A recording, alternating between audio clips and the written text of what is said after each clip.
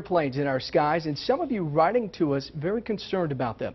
4029 looked into what they are and why they're flying so close to the ground.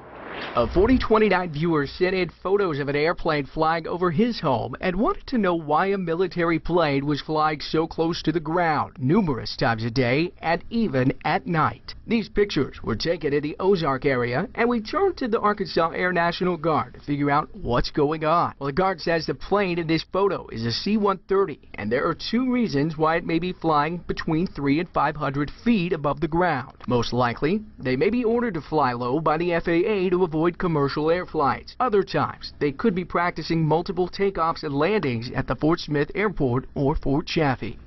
Well, a lieutenant colonel with the Air National Guard says low flying is also good for training for pilots so that they're prepared to do so if they have to overseas.